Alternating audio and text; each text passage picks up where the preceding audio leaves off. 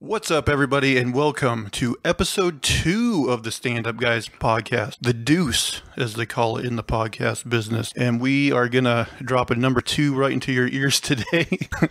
I, once again, am your host, the incomparable Zach Jones, alongside my brother from the same father, Lester Jones. I'm Lester Jones. wow, still, still going. That seems like that's like a Brian Fellows uh, gimmick infringement. Consistency is important. And rounding out the panel, the Punjabi playboy, AJ Singh. I don't know if I'm much of a playboy, but uh, yeah, this is AJ. Good to be here. You know, I always wondered does uh, does India have like any like um, celebrities you wouldn't think of? I mean, of course, we got your you know your Dev Patels, your Freida Pinto, your Fisher Stevens, but do they have you know um, the the uh, who, who's the guy Germany likes? Uh, Hitler? Knight Rider. oh, David Hasselhoff. Yeah, yeah, yeah. Does India have like a David Hasselhoff, like someone you wouldn't suspect is like a big time like celebrity, but is? Yeah, there's a porn star named Sunny Leone who uh she's in like I think she's like Canadian or maybe she lived in America and moved or something like. But she she became a hit in India. I don't know how big she is. I don't think she's like super main, but she went from like not really being known here at all to being in like music videos and movies over there. So I mean that that's one right there. wow. So is, is she like is she Indian? Yeah, she's Indian. She is. I feel like I've heard that name, but I, I don't think I've ever seen her. I'm sure you've seen. Why? I've, definitely heard that name. But I mean, you see her on posters and billboards. and, Oh, right? okay. It's interesting for a place. I'm not going to say you can't really label India because it's such, but I would go even closer. okay. Uh, but I mean, most of India is like fairly conservative. You know, like they're not. They're not like there is overt sexuality in the music videos and the movies. That's pretty obvious. But I mean, they they try to act like that. That's not something that they're really you know trying to uh, commercialize so much. But I mean, there you go. You have a porn star who's uh who's made it pretty big over there. It's kind of like uh, like 1950s America, where like people were sexy and they were like still doing their thing, but like yeah, you couldn't be too overt. Exactly. Yeah, exactly. I feel like like porn stars that are famous here, they don't re- usually cross the threshold where they're doing like commercial stuff. Yeah, they're famous for porn, and you're like, Yeah. Yeah, they get pigeonholed yeah. in more than one way.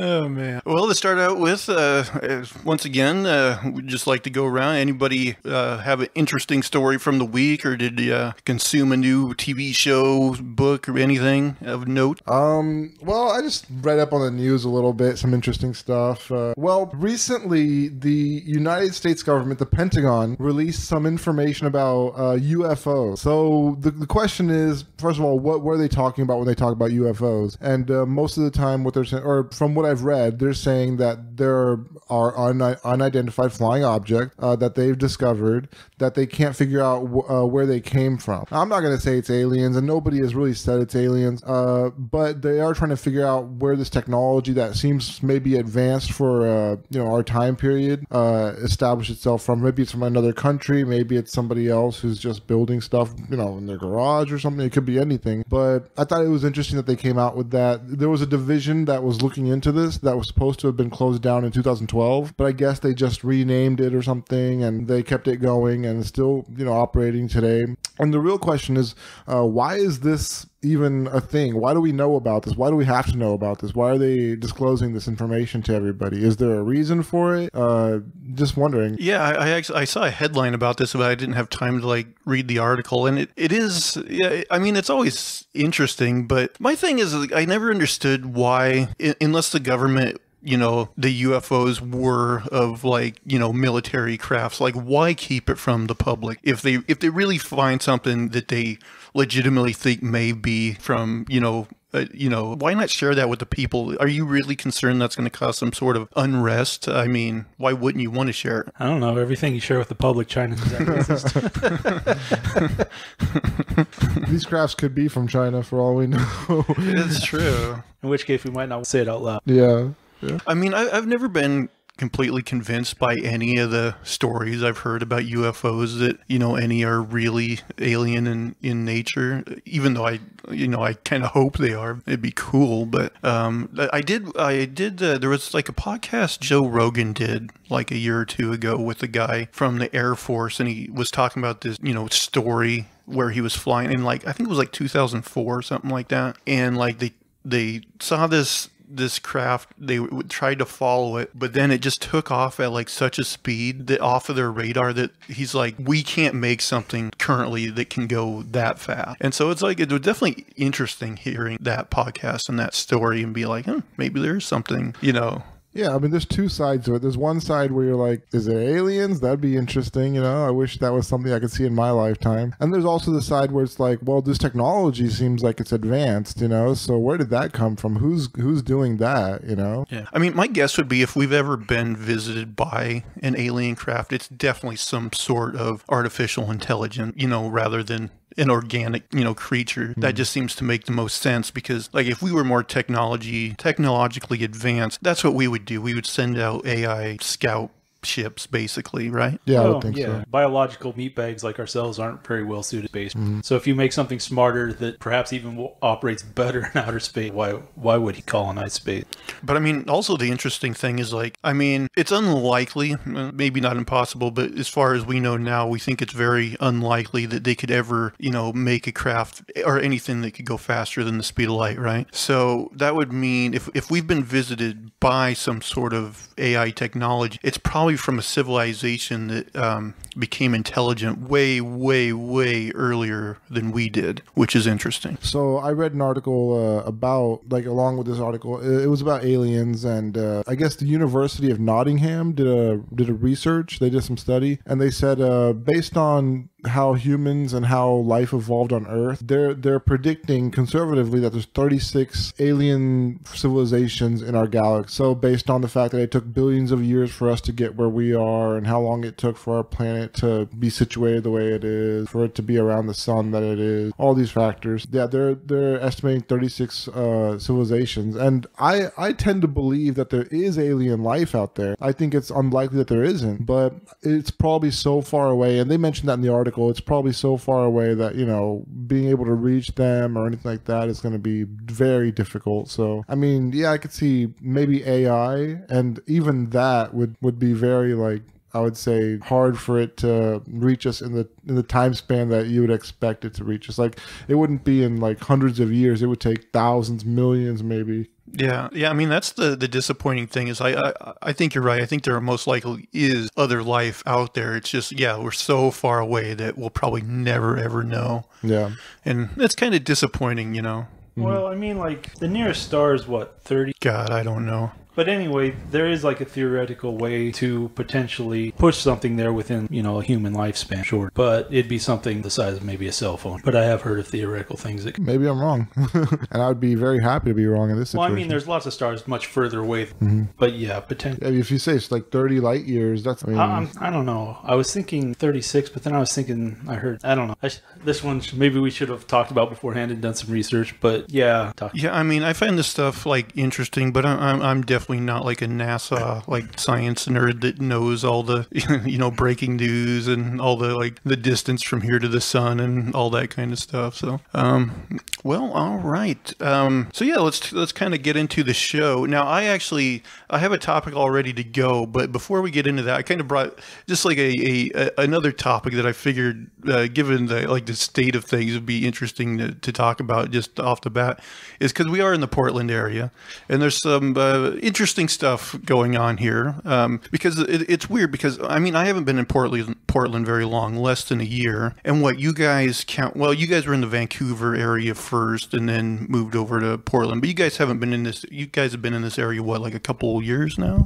about a year, maybe. Is it? Has it in Portland? In the Vancouver area, we were there for like about two years, and then uh, Yeah. Portland one year, so, three yeah, years few total. But anyway, like, and and we're we're not like right in the like I guess downtown Portland area where like protests and things have been going on. So it's it's one of those things where I knew like right after the George Floyd thing happened and they were having the the the protests, like like all the other major cities were. Like I knew they were going on, but then I didn't hear about them for a while, so I just kind of assumed they stopped. But apparently they went on, and then I guess because uh, Trump, you know, he made like a. Uh, what is it presidential declaration or whatever i forget what they call it Order, I guess. yeah, yeah, where like um, he he wanted to protect like statues and monuments that were getting damaged, so he made this thing to to where you know if you get caught doing that, supposedly you get ten years in prison or something like that. But anyway, so when the protests were going around here on like around July fourth, I guess they had like um, sent in a bunch of like federal troops or something to you know uh, supposedly help keep the peace and protect monuments or whatever. But that riled up the people even more, and so basically the protests ever since have, have been more about like protest that kind of stuff you know? And it got interesting over the last couple weeks because there were stories of you know unmarked federal agents basically just you know coming in gassing people uh, um, detaining people. And from what i heard uh, i mean they're from um, directed from the department of homeland security. And like a lot of them were actually work for the border patrol but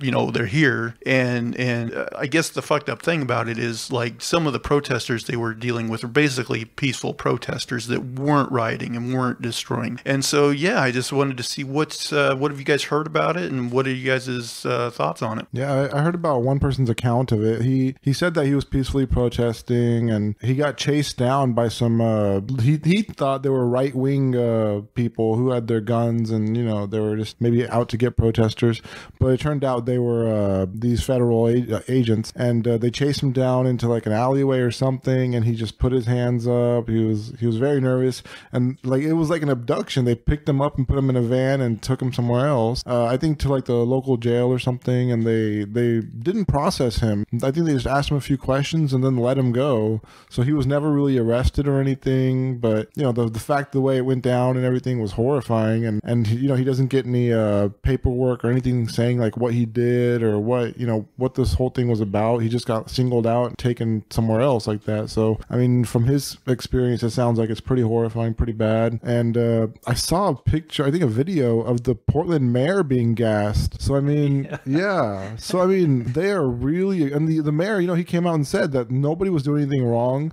It was peaceful protesting, but still the uh, the police, you know, the or who the federal agents, whoever they were, they went out of their way and you know actually gassed these people. It sounds like they're pretty aggressive out there. Yeah, that one was kind of weird because I, I guess he was giving like a speech, and uh, the audience was actually booing him, and uh, he tried to join them. Federal agents somehow they gassed him or something. like, damn. wasn't there wasn't wasn't there another state where I don't know if it was a senator or governor, or, but they got gassed? I mean, I haven't heard of it, but I, I believe I it. forgot. I just remember briefly. The fact that the mayor got gassed here tells me that nobody's uh, safe. Yeah, and I don't know. The fact that the federal government came in, nobody really wants it, I think. And other than I think the first few days, it hasn't been really aggressive. I don't think it's been a lot more peaceful. But on the other hand, it's been going on for like two months. Which what in the hell goes on for two months? No, but I think that's that's commendable. Like you know, the fact that they believe in something so much that they're willing to come out every day or however many times and, and fight for it. And from what I understand, the, the shopkeepers in downtown they say it's all peaceful. There's been no looting or anything like that, no damage to property, or Well, you know, that's been some people's experience. I don't know how much. Yeah, I mean, I know like the buildings because I work security. Like we had buildings that were damaged, like the Oh, first okay. couple, days, and now it's it's been quiet. But Okay. So yeah, it, maybe at the beginning there were some uh, rowdy people who uh, got involved and kind of took things into their own hands. But uh, I mean, from what it sounds like, things are escalating because these federal agents are here and they're, you know, they're tear gassing or whatever. They're doing these things that are kind of out of line. You know, they're they're escalating situation. That's what everybody's reporting too. That things are Yeah. getting uh, more heated now. There's more tension between the protesters and the police. yeah, I don't feel like the things were necessarily aggressive enough at this point that it's really warranted.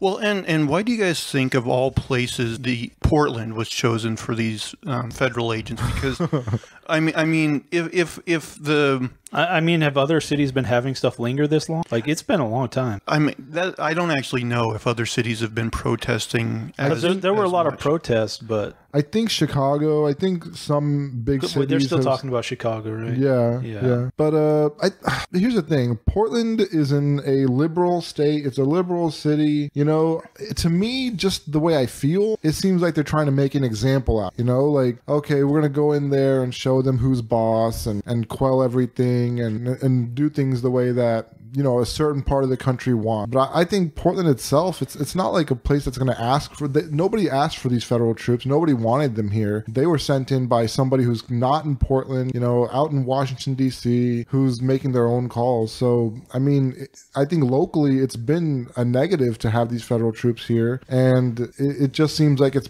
it's not benefiting the locals in this area to to have this whole thing go down the way it is. Yeah, and also like if the excuse for sending the federal agents here is heck monuments and stuff. I mean, the the big monuments that are being destroyed, uh, you know, in the South were of course the Confederate statues. And I don't know what they're destroying up here, but it's certainly not Confederate. Well, there, there's like a, right? a big like city statue of an elk that was because it was downtown. It was kind of randomly destroyed, and everyone's like, "What are you doing?"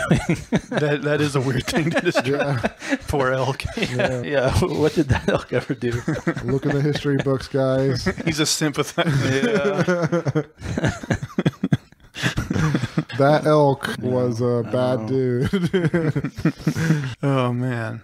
All right. Well, should we move on to our first? Well, I, I was kind of wondering because we're, since we're on the topic, um, you're talking about Floyd a little bit and stuff, and I was kind of wondering like what comes to your mind when you guys hear the term like systemic racism because policing is b- about the only thing that comes to my mind. Although I think there's some others out there. I think of it in a in a structural sense. Like I think it comes from top down. You know, like there's rules in place, there's systems in place. It not necessarily just here. Like uh, I heard of a story in uh in the UK where a an Indian person who was British, he was raised there and everything. Uh, he was trying to become a a lord, I think, and uh, there was a conversation that one British minister had with another, and he was saying that he's not British, you know. And the other guy, luckily, you know, he actually recorded it, outed this person, but uh. I mean, there's there's sometimes like an unspoken thing, like kind of rules that people follow that that enforce like systemic racism, even though like it might not be written down anywhere. And that might be an example. Uh, Another one where there were rules written down, I think, was like South Africa during apartheid, where everybody had to be open and honest about what's going on and how the system run and how to break it down and rebuild it. But uh I mean, I think systemic racism comes from yeah, unspoken and spoken rules and laws. The thing is, like the apartheid is is very easy for me to to see because they did have very set things, and sometimes it's talked about in a, such a general way that I, I struggle with like understanding what's going on. Um, I think definitely like the policing is pretty obvious because you know certain areas, you know, with certain demographics were blatantly attacked, especially with regard to like uh, you know the drug trade and stuff like that. But when it comes to other things, I'm kind of like me. I mean, I don't know if if you can show me that or not Sometimes. Well, uh, uh, it's one of those things where, like, well, in like like you're saying about the drug thing, like definitely, like you know, uh, Reagan era, like the '80s, like the whole thing about how uh, you know crack cocaine, the way they would um, punish people caught with that rather than people caught with cocaine, where it's like it's the same drug, but people, uh, but Right, you two know, very different standards. yeah, two very different standards, and of course, you know, crack was more prevalent in the African American community.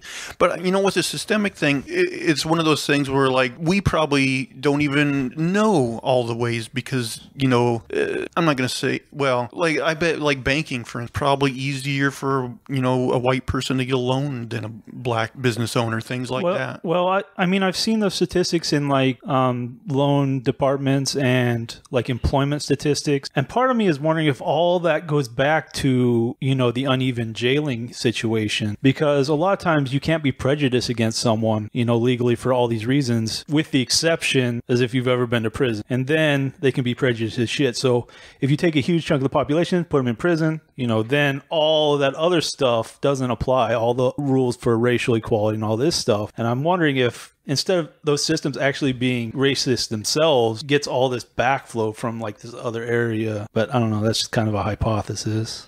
You know, I even wonder, like, down to the level of how communities get, you know, federal funding. Because, like, do you think inner city um, public schools are getting the same um, opportunity and amount of, of uh, you know public funding as as you know schools and public schools in more affluent areas, uh, you know things like that, and which also you know makes a snowball effect. You know, any community that's not being served with a good education are going to feel that ramification later on. I mean, that's one of those things. It has a lot of components, though. Well, yeah. Because I mean, if you live in a, a rich suburb or something, they're probably voting for higher taxes for better schools, Yeah. and you know that's part of their reputation. So anywhere you have money, the the children are going to get better education. I mean, that's you get what you pay for, and they're they're going to pay for it. But those those areas are hard to get into. But you know, I think just like you said, I, I, I think starting out with the the you know prison system, it, it, affects that one alone. Just having so many you know African American incarcerated for for like you know for many years, like marijuana charges and things like that. Although luckily, I think marijuana is becoming legal in more and more places. But that one system of inequality if, is going to affect so many others. Right. I think that's like the center, the most vast. um, Definitely, definitely. But you know, also the systemic thing. You know, we talk about all these you know horrendous cases that, is, that have popped up in recent years of you know police abuse, and and then nothing nothing really happens. The the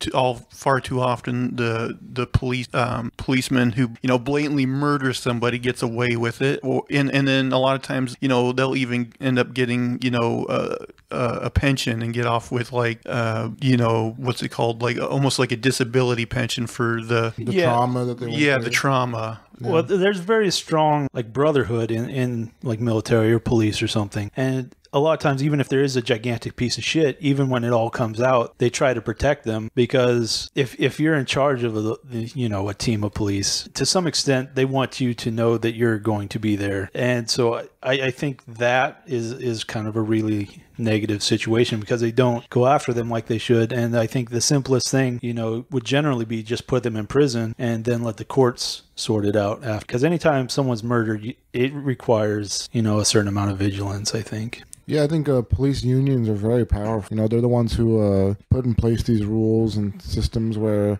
if a police officer does do something wrong, they have so many options and so many ways to get out of trouble or or to not face the full consequences that a normal person under those under those under that situation would would face. You know, so it seems like they're very protected. Yeah, and another proposal I've heard, and you know, a lot of cops have body cams, but they like magically get shut off. And Yeah. things. Mm-hmm. but it wouldn't cost that much to force everyone to wear a body cam and just say, "Hey, if your body cam's off in one of these critical situations, you're done. Yeah you're fired It, you're, It's mm-hmm. as simple as that. You're done." but then I, they would probably just say oh mine must have been malfunctioning i definitely had it on Yep, sorry, you're fired. Yeah. And you do But- your equipment checks. But yeah, and, and like I don't want to say that all the protests that always inevitably happen after these tragedies are useless. I mean, I think you know, of course, I, I disagree with the violent rioting and defacing of uh, statues and everything. But like, uh, you know, for all I know, in some of these communities, you know, maybe things have gotten better there. Maybe the protesting, in, in at least in those community communities, have caused you know changes to their local you know police regulations and how they hire policemen and all that kind of stuff. I have no idea, but um, but yeah, you can definitely see where when police get away with this time and time again, um, that's that's when the problem you know really stack up and you see a systemic problem. Yeah, I, I think generally when you talk about systemic racism, it, it all comes from the prison system and the policing is, is kind of affects everything branching outward. I agree. Well, that was a hilarious topic. yeah, it's kind of weird when it's like a darker subject, and then it's just like, well, um, But no, that's it. and That- now for something completely yeah, different. No, it's a you know it's a conversational show, so that's that's Yeah. definitely going to happen. Uh, AJ, you got a, a sillier topic to bring us back up? Let's see. What if I do? Oh, I do. Okay. Um, a man in New Jersey tried to. Uh, well, he, he got caught. Uh, I think burglarizing or stealing cars. Okay. And uh, he was facing facing a prison sentence, and he almost got out of it by faking his own death. He forged a uh, death certificate, and what happened was he he turned it in, and the people who were supposed to look at it, they were looking at it, they were checking it over, and they noticed the font was there were like two different font sizes, and uh, the word registry was spelled wrong. So they called into the New Jersey department that handles this and has this information, and uh, it, it, they uncovered the fact that this was a fake death certificate, and the guy got caught. So he's facing actually four more years on top of everything that he's already facing. but yeah, if he had just learned to spell and uh, kept his font sizes uh, uniform, he would have gotten away with it. That, that's that's I've, I've wondered sometimes how hard it is to forge some of those things. And part of me is also like in the 1950s, like if you knew the paperwork, you could probably fake anything. Oh yeah. Because like nobody's talking to each other, it's just like a hodgepodge. Like, well, I guess this is true. Time to move on to something more important. you know? I guess he's dead. You know, I want to say there was a, also like a s- story a couple years ago in the news where like some rich white guy tried to fake his death and got caught doing it, and I forget what the reason was, but I wish I re- yeah because I don't know if he was like trying to get out of a divorce or what, what the deal was. He didn't opt for real death. That's where he like, went. I guess. I, fuck, I'm done, man. That's where he went wrong. yeah, that's That's the hard way, man.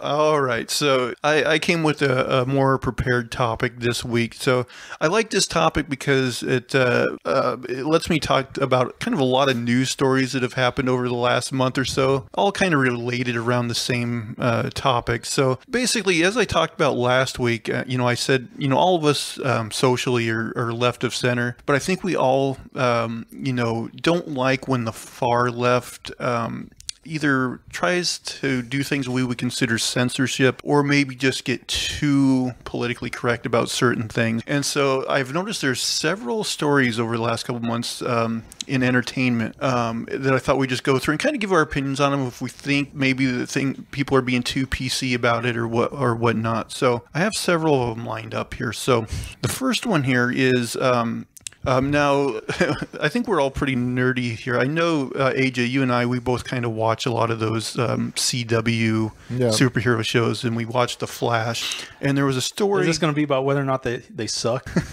Because they don't. and the Flash, the Flash is the better one of, of those shows. yeah, it is. Anyway, I wh- could think of a less PC version of the Flash. It'd be funner. The Flasher. That probably exists. Uh, Rule 34, yeah. Anyway, uh, there's an actor on the show, uh, or there was, named Hartley Sawyer. He plays the elongated man on the show. Nice. Um, but he That was also fits into my show. it does.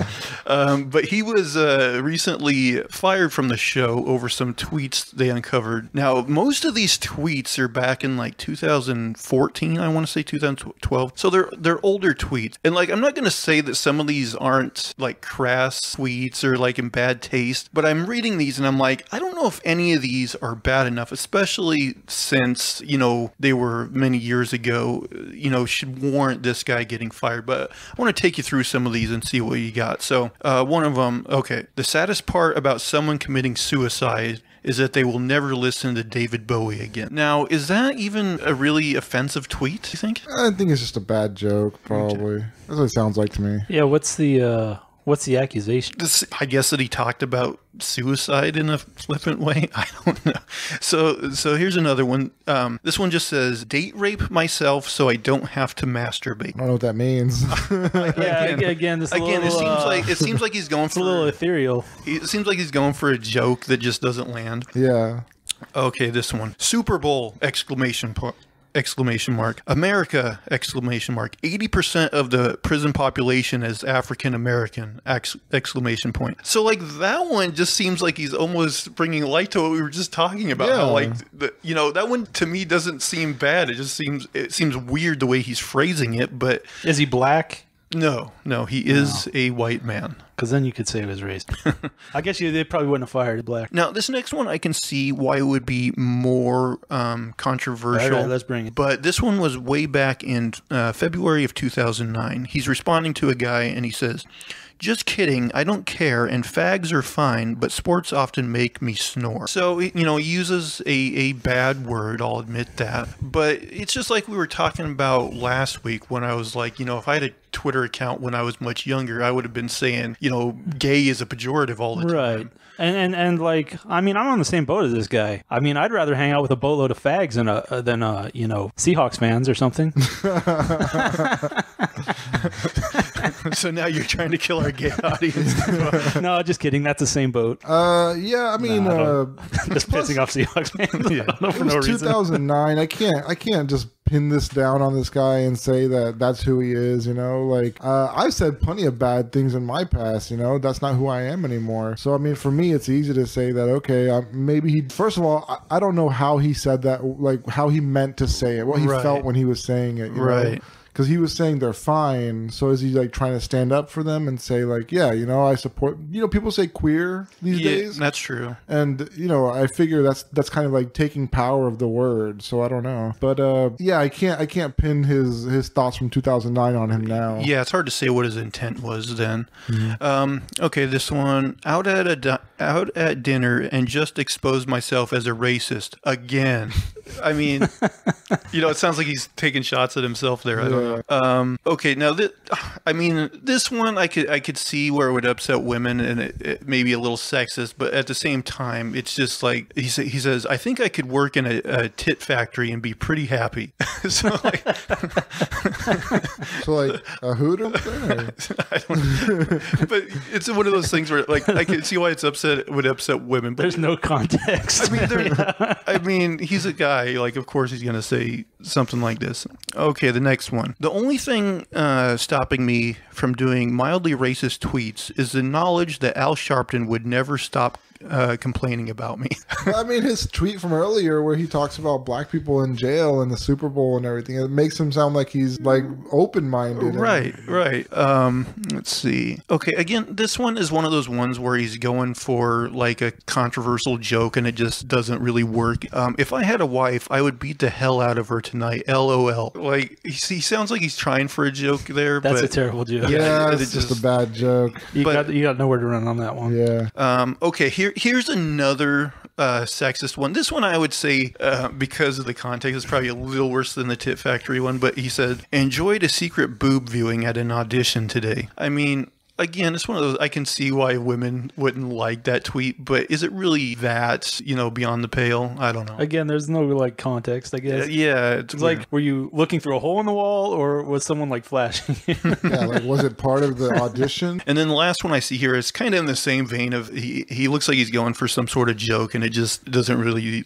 land. But he says, As a lad, one of my favorite activities was kidnapping homeless women and cutting off their breasts. that is a bad that's a, that's a terrible yeah. joke. That's like that. That's the the most fireable one so yeah far. Yeah, that one probably got him in trouble there Yeah, you're like, oh, okay. Now all these, uh, you know, tendencies I suspected you of, uh, I'm ready to ship you down the road right now. Now, this is the one thing we don't know. Like, like on the surface, like, so that's the last one I see here of these ones that are included. So, do you think any of those, or, or taken as a whole, do you think those are, uh, you know, beyond the pale where this guy had to lose his job, where he they, they just and and again, I think I think most of these were back in like 2014, 2012, that area. I mean, it was pretty mild until you're like, oh, I'm gonna go kidnap some homeless chicks and cut off their tits. Like, what? But again, do you think he was really? Yeah, I don't. I don't think that's fireable. I think that I don't know what state of mind he was in when he said that. I don't know, you know, what the situation. I, I was. think he was kind of going for like a, a shocking, like Anthony Jeselnik type of humor, but just failed. I mean, was it like commented to something? Was there? There's just like no.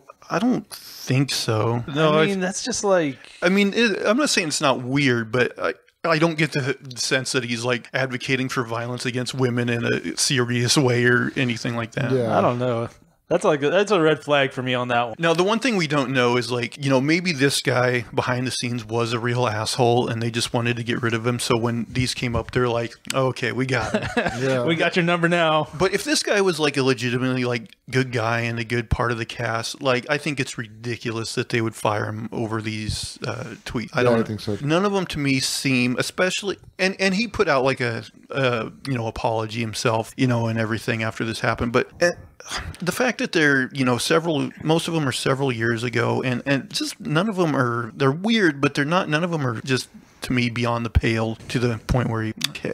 So next story. And you know, the fact that he's he's in an elevated position on a show where he has more responsibility with the public. I mean, that could have changed him. You know, maybe he behaved differently and carried himself differently. It sounds like he wasn't doing that anymore. That was something he did before. So, I mean, he took his I think he took his position, his fame seriously and tried to, you know, not have a negative impact. So, uh, I don't think that he should have been fired for that then. All right, my next story is about HBO Max. Um, So this story was published on June 10th. You guys probably heard about this. Is HBO Max uh, for a time pulled Gone with the Wind from their streaming service? Um, basically, let's see if I can see the quote here of. Um, they put a statement these racist depictions were wrong then and were wrong today of course and we felt that to keep this title up without an explanation explanation and a denouncement of those depictions would be irresponsible. Um, spokesperson added that when the film return, returns to HBO Max, it will return with a discussion of its historical context and denouncement of those very depictions. And so then there's another um, related story, uh, basically going over that. So this next one was published on June 24th, and they, they say they brought back the movie with a four and a half minute introduction by African American Turner Classic Movies host Jacqueline Stewart, who discusses its history and its racism. So. Uh, I mean, my first question is so I think they kind of pulled it in the midst of the whole George Floyd thing, saying it just, I don't know, was uh, kind of in bad taste for them to have a movie that has, you know, depictions of, of slavery and racism at the time. But. I've always felt like that kind of thing on the surface is is silly anyways. Like are we all babies? Can we not understand that, you know, there's coincidence and things like that or or I don't know, what do you guys think in general of these kind of thing um, being pulled because of, you know, sensitive tying? Uh, as an adult, I feel like I can make up my own mind and know like what's wrong with the movie, what race is, I mean, slavery is bad. I know that. But I mean, maybe for children, maybe for viewers who don't have any kind of a understanding of the situation, maybe they need to have it explained to them like this is a bad thing and all this stuff. So, I mean, I'm I, I'm not a, against it, but for me, I, I don't think it's necessary for me. But maybe maybe it is necessary for some viewers. Yeah, I mean, in general, I don't believe in censorship basically at all. that's a, that's not a lot to add to that. Yeah, I mean, I'm I'm I'm okay if they want to put you know these disclaimers on even though i think it's silly you know i actually i, I brought up here because i thought one of the um, places that did it better was you know back in the day like i don't know probably about I don't know, 15 years ago at this point. I, I, um, I'm a Looney Tunes fan, so before they had them streaming, I went ahead and ordered some of the DVD sets of uh, Looney Tunes, and there, there are a few like racist. Yeah, there's uh, definitely some racist stuff in there. Yes, like there's some uh, Frank Tashlin, Porky Pig tar- cartoons. really bad. And, but uh, they basically on the, those DVD sets um, put up this disclaimer. It says the cartoons you're about to see are products of their time. They may depict some of the ethnic and racial prejudices that were commonplace in American society. Depictions were wrong then and are wrong today. While the following does not represent the Warner Brothers view of today's society, these cartoons are being presented as they were originally created because to do otherwise would be the same as claiming these prejudices never existed. And it's that last sentence that I really like is like we acknowledge that you know there's some messed up stuff in here but ignoring it seems like the worst thing to do. And to me i would rather companies put a label like this on things and just leave them in their original format you know if anything. Uh, that seems to me the like i think disney straight up should do this with like song of the south. Like even though it has things in there people hate like just show it put a disclaimer like this on there and be like hey this does have some some bad depictions in it, um, but ignoring those, you know,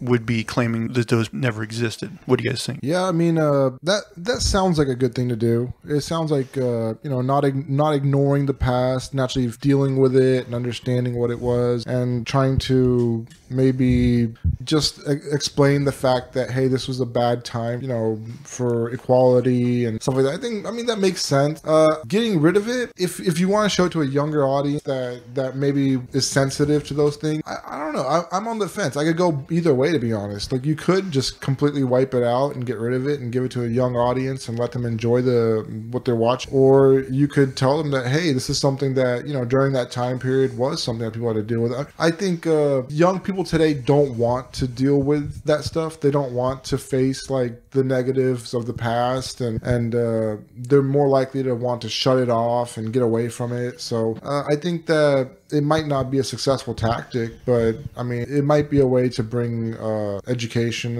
about Right. what's been happening. Right, so not necessarily deleting history, but I mean, as a company, you can definitely so- see why they wouldn't want to put it out there. I mean, they've got this gigantic website with a huge amount of content, and pretty much adults let their kids roam free on there. They can't compromise that. I mean, it's a billion dollar industry. You don't you don't want to look that horse in the mouth. So I can definitely understand them not wanting to openly put it out there, but uh, it's their content. I think that's uh, that's their decision, and, and that's theirs to make. Yeah, I mean, I, I guess. I mean, uh, I just, I, well, uh, what I'm uh, getting at is, I guess I, I like, I like this putting things on there and just having a disclaimer better than this next story, which is HBO Max, and and I don't want to necessarily just single them out on here because it looks like um, Hulu and Comedy Central have done this in the past as well, but um, uh, HBO Max now has the streaming rights for South Park, but there's five episodes that they have totally pulled, and, and like I said, I guess Hulu did this when they had it, and Comedy Central when they had it as well. The,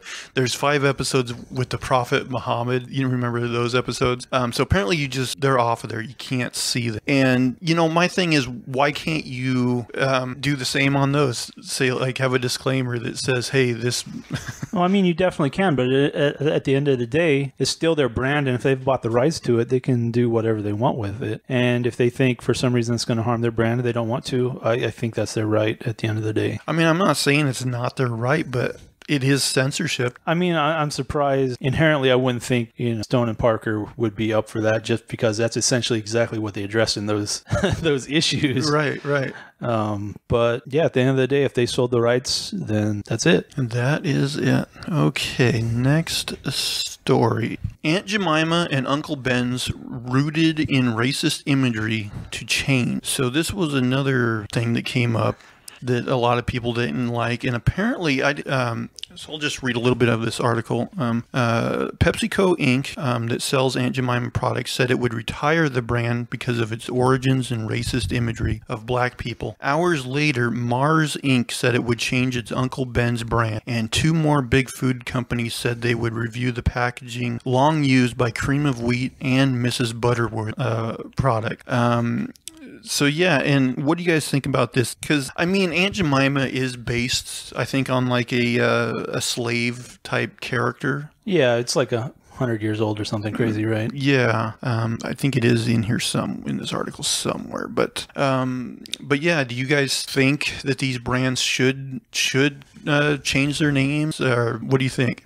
I mean, I'm pretty cold hard hearted about it. I'm like, you know, whatever they think is going to affect the bottom line the most, that's what I think they should do. But like, I have this coworker, and I- I've told you about him. He's a little goofy, but um, he was very adamant on this, particularly the Aunt Jemima. Like, I listened to him for probably 10, 20 minutes, more than once, but just really does not want the world changing. Like, he doesn't like the world changing around him. You can sense this about him, you know, like, it's been good enough for 100 years. I grew up with it. Like, why are you taking this bottle of syrup out of my life, you know? and he's like, I better go out and buy one now so I can put it on the shelf because you know it's gonna be a collector's item and this stuff. Well, you know, he's uh he's got his views. Yeah, I think uh, you know it's based on everybody's, like you said, their own views about it. Yeah. Me, I, I, I did see Aunt Jemima as a kind of what are they called, mammy character? yeah, she's like a mammy. Yeah, so I mean, she seemed kind of outdated. So I, I'm not a, I'm not against changing that if they want Yeah. to. But I, I didn't know Uncle Ben's was you know something like that. I didn't know Mrs. Buttersworth was like that. So I mean, to me, it's not. I never even Yeah. correlated that to like being racist or anything. But I mean, if there's people out there who do feel that way, who are offended by it, then um, you know, I mean, yeah, I guess. I it- mean, at the end of the day, you vote with your dollars, right? You're like, that's racist. I'm not going to buy it. Yeah. And then someone else can buy it. But I've heard that they're just going to bring her back as like a black auntie or something. So I don't know. That could. I have. There's part of this article that says the history of Uncle Ben's uh, dates back to a Texas rice broker who created a company to market a new parboiled rice he called Uncle Ben's Plantation Rice in 1937. When, when did they lose the plantation? Um, during World War II, the broker formed a partnership with businessman Forrest Mars to sell the rice to the U.S. Army. In 1947, the company officially introduced Uncle Ben's converted rice. The packaging showed a white haired man with a black bow tie. Mr. Mars changed the name of the company from Converted Rice Inc. to Uncle Ben's Inc. and later combined it with his family's candy business. but yeah, changing it from plantation rice was probably Yeah, a good, good call. he was he was a, ahead of the wave on that one. I know plantation food was that coveted. Yeah. It says uh, the Aunt Jemima brand back dates back to 1889. It was inspired by a popular song, "Old Aunt Jemima," typically performed in minstrel shows by a white man in blackface. You don't have a copy of that song, do you? I do not. Yeah, that one I guess uh, definitely feel free to change. you want me to um, track that down and make it be the intro song to the show? yeah. We need something. I mean, that's got to be uh, in the public domain, right? I, would suspect. Yeah. Um, so we talked about, um, I talked about earlier that disclaimer on the, the Looney Tunes cartoons. But speaking of Looney Tunes, they've also been in the news, which is they announced that because HBO, um, they have made.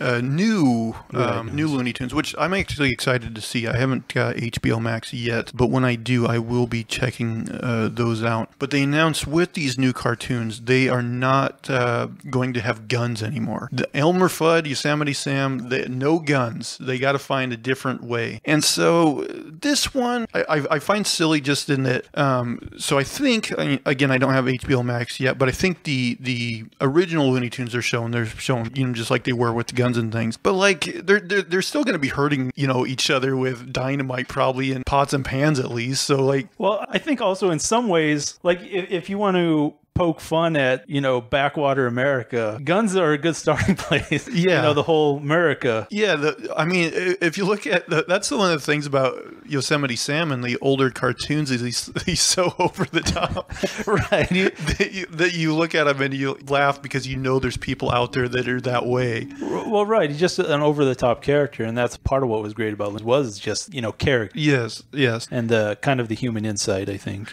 And so uh, they don't really go into, at least this article I'm reading here, as to why they did it. My, my guess is someone's going to say, like they have with kids' cartoons in the past, well, we don't want kids, you know, picking up a gun and shooting another kid. But it's it's like Looney Tunes are so violent in other ways that, like, are have is there an epidemic? Epidemic of like you know kids hitting other kids with you know sticks of dynamite and, and and anvils i mean i don't know seems a bit I, I mean, kids and violent cartoons, they just kind of go together. I Yeah, think. Like, yeah. It's a good fit. And, and I mean, the thing is, is like any credible study that's ever been done um, shows that there's no statistical um, significant, uh, you know, correlation or causation between the consumption of violent media, um, you know, whether that be, you know, movies, TV, music, video games, and, you know, uh, committing violent acts. So, like, why do we um, think it's any different when it comes to kids? I don't know. Yeah, and I don't know if I'm even excited about it really because pretty much every time something gets remade like that, if they're coming from a, from a political standpoint, it's almost always garbage. And I mean, HBO has pretty good reputation, but I, I just don't see it.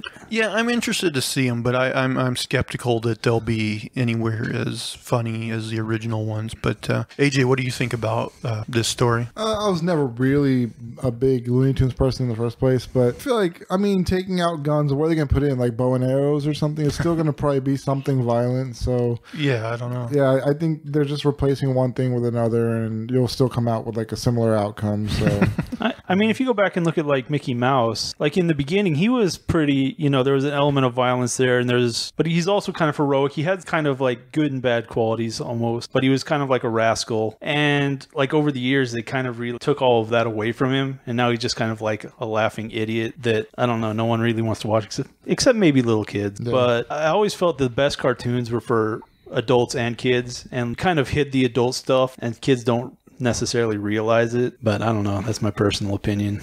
Well, um, so my last story on this topic, and I, of all the topics I've done today, this is actually one that I could maybe get behind a little more.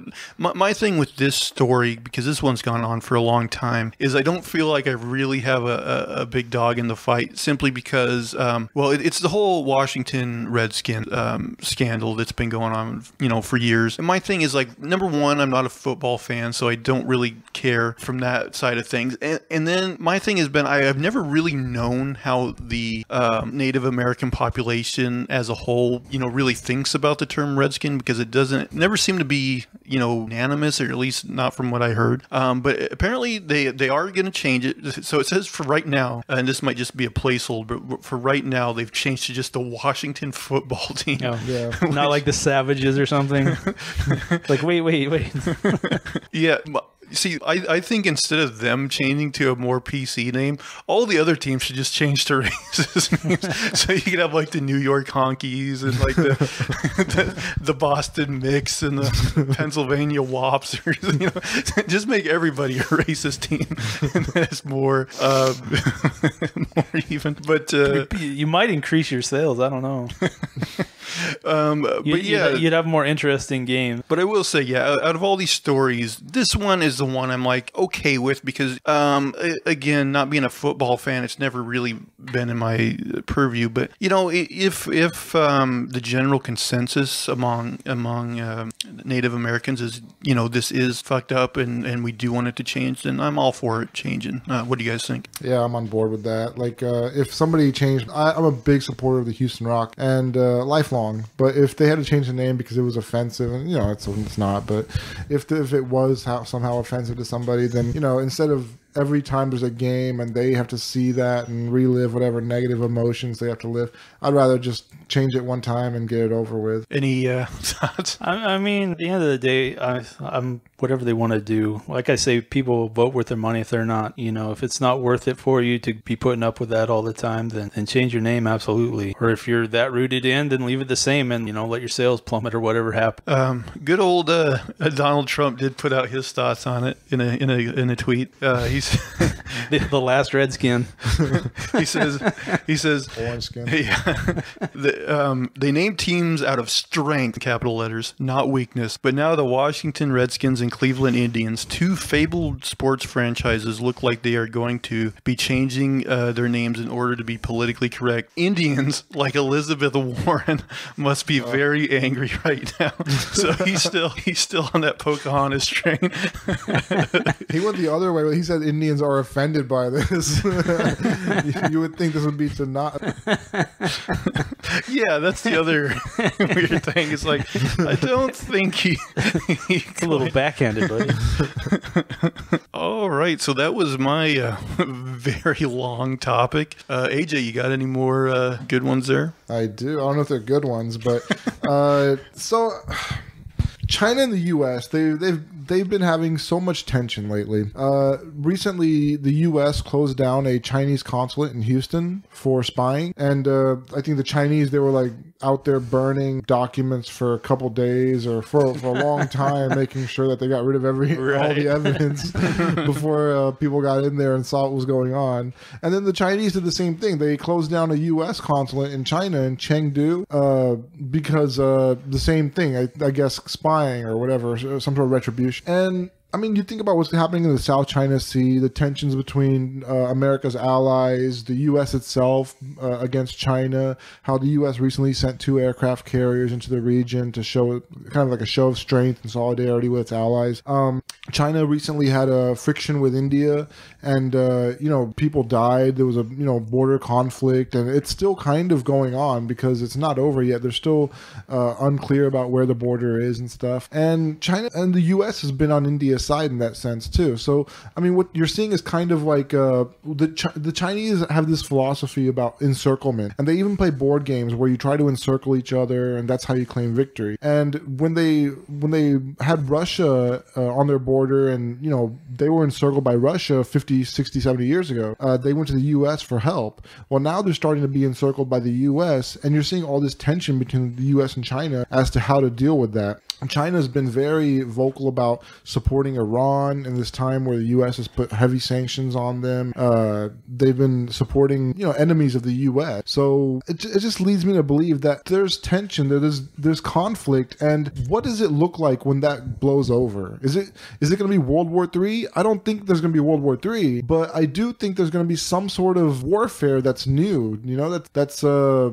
like already you've seen ships and uh, being sunk in the South China Sea. They don't explain that there was some sort of tension between the U.S. and China, and that's why it happened. Sometimes they just say that oh, sailors died, a ship, you know, something happened on the ship and it exploded or whatever, it sank. But I'm starting to think that there is like a proxy war going on between the two countries, and when it escalates, what's that going to look like? Yeah, it's definitely scary. You know, I, I honestly, I, I worry more about like uh, economic war than uh, physical war when it comes to China. Even even though both would be uh, scary, and I guess you know, physical war would be scarier. But I think that's the less likely road. I think I think they more or less are going to go after us economically, like they've been doing. I mean, economically speaking, I, I essentially think America is bankrupt. So there's going to come a day when we just have to say, sorry, we can't pay you. What what do they do with that? Because we owe them a lot of money. I mean, what do we do at that point? I mean, we still have a gigantic army. We have still, we have, it's not like we're defense, but I, I think our ability to pay them back is going to crap out at some point. And then there's probably going to be some kind of struggle for who has the net or the world currency, basically. Because right now it's the U.S., but somebody, will, something's got to pick it up. Yeah, I mean, what? Uh, I mean, doesn't our? I mean, if- China's already made some plays in that direction. if we ever take that step and we're like, oh, you know what, we just we can't pay you back, we're done. Yeah. Like our our currency collapses, right? Uh, probably. So I don't know. That's that's a doomsday scenario. Hopefully that doesn't come, but um, yeah, I don't know. I mean, it seems like China is the new big player. You know, it seems like we're we're destined to be outdated and kind of what Britain is today in a in a lesser role. Yeah, maybe it's I, I mean, all there's a number of us that are going to be big countries probably just because of our resources and size. And I don't know if I see a full-on war or not, but yeah, definitely there's there's some kind of change coming. But it, it's really hard to see what's going to be on the other side. I think. Of course. but China is definitely shows like it seems like they show overt aggression to everyone in their proximity. of course maybe a even worse pandemic will come along and screw our economy up without them having to do anything. Who knows? I mean, I'm sure they I'm sure those weapons are around too, but oh yeah, probably. Um, wow. yeah. We're really going doomsday with these topics today. let's see. Let's see if we got a more. So upbeat uh, one. a little, little different. So I've noticed like both of you have like some kind of phobia about public toilets. Yeah, I do. Like what's going on here? Uh, I you, you know well one thing is like, Like you'll risk shitting your pants. yeah I really I I really don't like I mean for one thing I have a very shy bladder. So like I will sometimes go in a public bathroom really having to piss and I'll just and this is one of the reasons like even if I'm pissing I want a stall because I will sometimes just be there for minutes and minutes and be like fuck I can't go. Like it's too noisy in here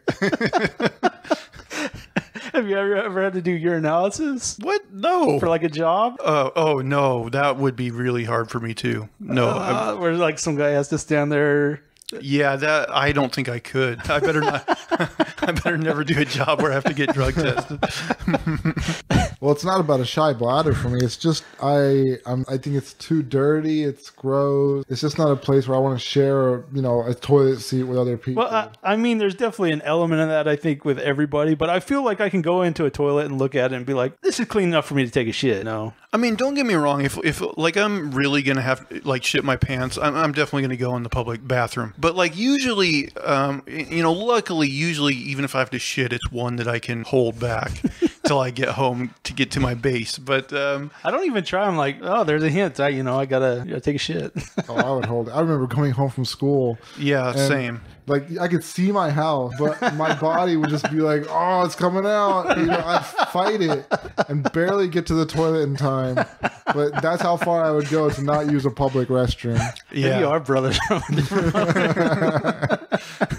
from a different yeah, I am very averse to it. I, I, I only use public bathrooms when I um, absolutely have to. Like I'm not shy. Like I'll flush it with my foot, put the seat up with my foot, do a hover shit.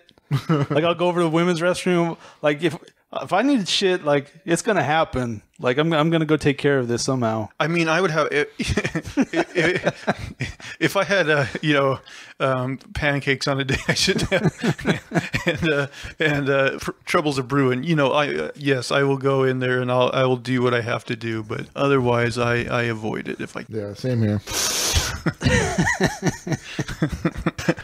but uh, glad to know there's another sensible Yeah. person. Can, can, what do they call that?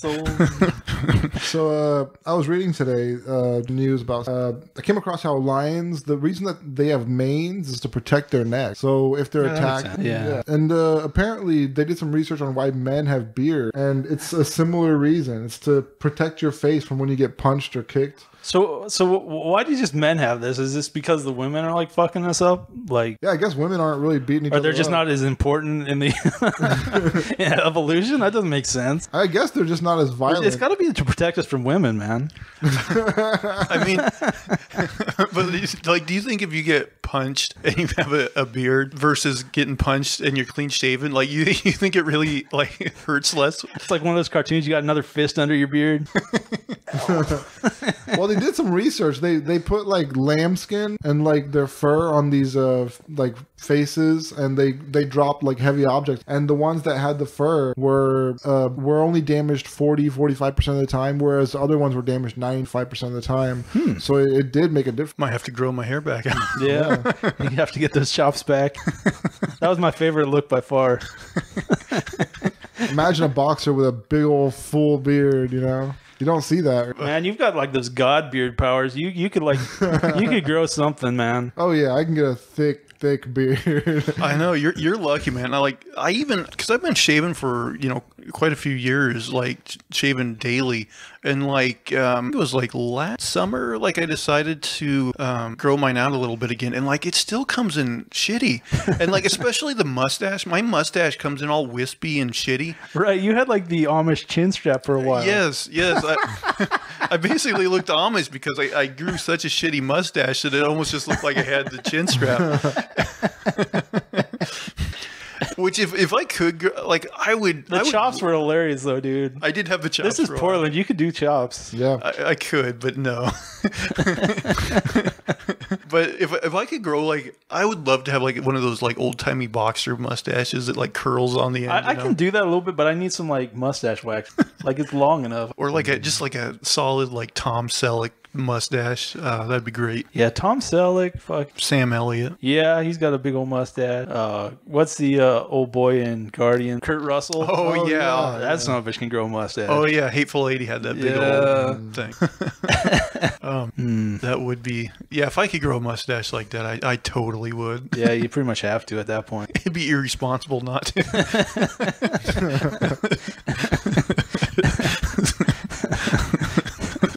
All right, guys. Well, any anything else? Any other topics before we call it a day? Uh, yeah, okay. So a California woman. I don't know if you guys ever had such vivid dreams, but this woman had a dream that she was on like a, a subway or somewhere with her hus- with her fiance, and she was about to be robbed. So she took her 2.4 carat ring and stuffed it in her mouth, and then swallowed in her dream. I got a perfect story for this. Go keep going. And then in real life, she had done the same thing. She she had done that. She swallowed her ring, and she woke up later realizing that that's what she had done. So there's just a picture of her in a hospital bed later on. I guess they were getting the ring out of her, but I mean, come on, who like how do you do that? So working in the oil field, I'd be out for a month or two, and I worked with this one crazy son of a bitch. I got a lot of stories about this guy, but he shows up on the job and he's going around for like a couple days. Like he's like, man, my stomach hurts. He's like, he's complaining about pains and stuff. And it finally comes out that he got in this big fight with his stripper girlfriend. And like she's just as crazy as he are. They have one of these like you know they feed off each other's craziness or whatever. But